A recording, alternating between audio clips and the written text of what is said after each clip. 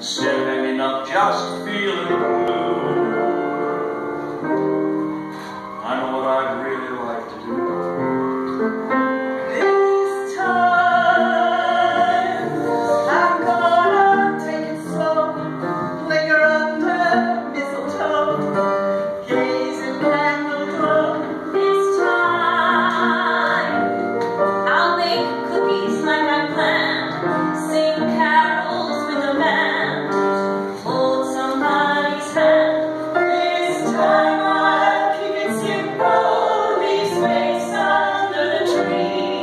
I'll buy a few less presents and give some more.